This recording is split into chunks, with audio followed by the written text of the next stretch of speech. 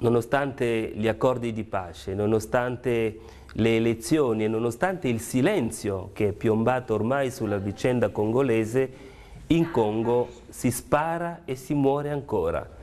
Milioni di persone sono ancora sfollati dentro il loro paese o esiliati nei paesi dintorni, le armi circolano ancora, le infrastrutture sono inesistenti, ma soprattutto la condizione più pesante è quella dei bambini bambini come quelli che stanno nelle nostre case che purtroppo lì né vanno a scuola, né hanno di che sfamarsi, né hanno dove dormire, dovendo anche subire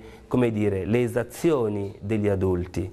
Ecco, vogliamo ritornare a parlare di Congo con forza, con energia, supplicando tutti voi di rivolgere la vostra attenzione a questo martoriato paese e di non lasciare i congolesi soli come lo sono stati in questi ultimi 13 anni. Rompiamo il silenzio, aiutiamo il Congo, ma soprattutto aiutiamo i bambini che sono il futuro del Congo.